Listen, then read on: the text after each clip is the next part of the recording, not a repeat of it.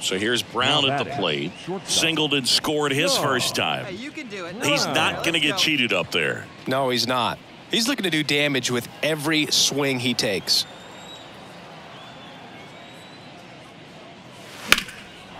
Well struck right field.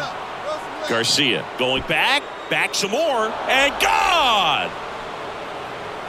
He made him pay for that one, and they jump out front. It's 5 4. He ambushed him right there, Siggy. Yeah, swinging on that first pitch, and I think losing one over the fence is exactly what he had in mind as well.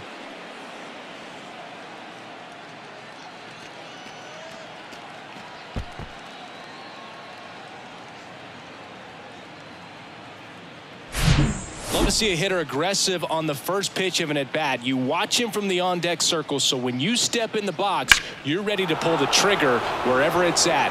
Really good job by the hitter. Total conviction on that swing.